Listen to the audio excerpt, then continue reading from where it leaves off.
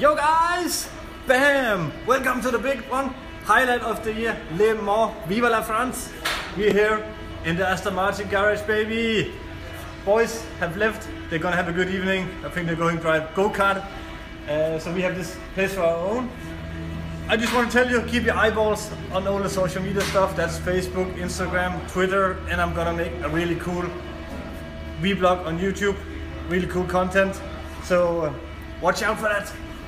And of course, cheer for the 95, the whole Aston Martin team. And let's hope we have a good one this year. And I wish you all a really good evening. Take care. Bye.